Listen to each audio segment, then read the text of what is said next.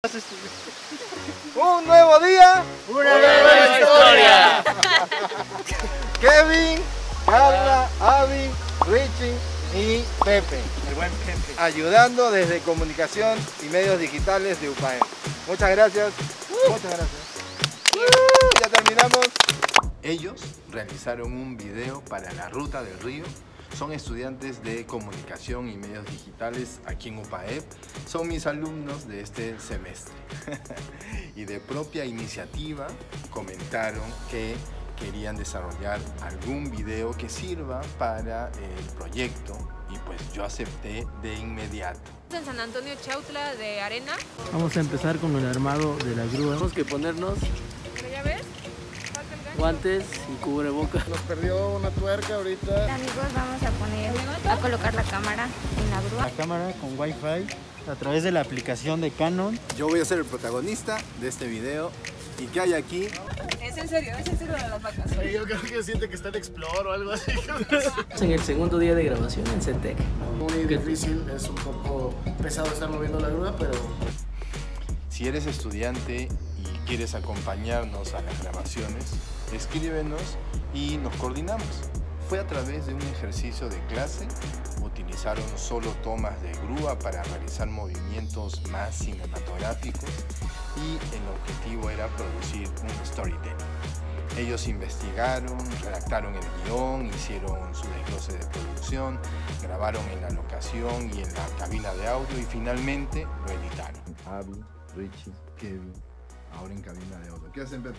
estamos eh, terminando de grabar la voz en off para el video final que vamos a estar presentando con la grúa sobre la ruta del río. Hacer el Y pues ahí está, un poquito. Muy bien. Kevin, ¿todo bien? Eh, no, estamos sufriendo un poco, pero profe, este, el tiempo nos vence. Richie, Eh, Kevin se está encargando de solucionar este problema. ¿ya grabamos? Ya grabamos. Ah, Muy sí. bien, quedó muy bien la voz, la grabación. Ya está completa. Vamos a escuchar un poquito, profe. ¿Todo bien? Lo que salga mal ya ahora. Va a salir muy bien. Audio Río 3. Adiós. Adiós, muchachos. A ver, profe. Adiós, adiós, adiós, adiós. Incluso dentro, sin ningún... Grabar con la grúa requiere mucha planeación y en la locación tan rara, más. Muchas gracias chicos por su dedicación, cerebro y talento. Yo pude ver, yo pude ver bastante esfuerzo por su parte, un poco de desorganización al principio porque no conocían bien la locación, pero al final cada quien hizo su función.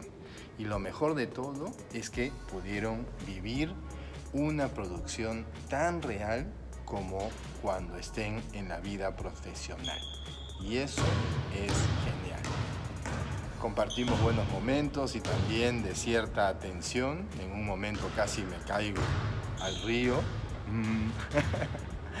Pero bueno, ¿cómo quedó? La mejor opinión es la de ustedes. Por favor, dejen sus comentarios y ustedes juzguenlo. Nos vemos en el siguiente video y le dan play, por favor. Adiós. Casi no recuerdo cómo era ver el río limpio, poder estar cerca, incluso dentro, sin ningún equipo especial. Ahora tengo que usar botas, pantalón, guantes y cubrebocas. El olor es penetrante, su color gris. ¿Podré hacer algo?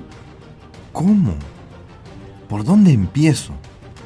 Me pregunto a mí mismo mientras el río sigue su caudal. Soy un profesor que ha dedicado casi toda su vida a crear contenido audiovisual, a planear estrategias de aprendizaje, proyectos, videos, tutoriales, clases y ahora rescatar el río Atoyac, lo que podría ser el reto de mi vida. Después de mucho, tengo el nombre perfecto, el que motiva. Ahora tengo un inicio, pero no puedo solo.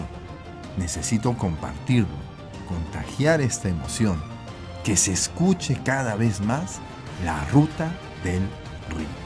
Ya tomé la iniciativa de hacer algo. Estoy motivado, interesado en que sea escuchado este proyecto. Debe llegar lejos, debe sonar fuerte, debe despertar personas, estudiantes, fotógrafos, expertos, científicos, periodistas, a todos, no importa desde dónde, todos cuentan, todo ayuda, Solo compartiendo se avanza. Si se compartiera en la misma cantidad que la basura llega a los ríos y cada compartir correspondiera a un kilo, llegaríamos a miles de personas por segundo. Sueño despierto por ver un río Atoyac limpio, por ver una Puebla sana. Quizá no me toque verlo 100% limpio, pero habré sido quien comenzó el 1% que se necesita para llegar al 100%.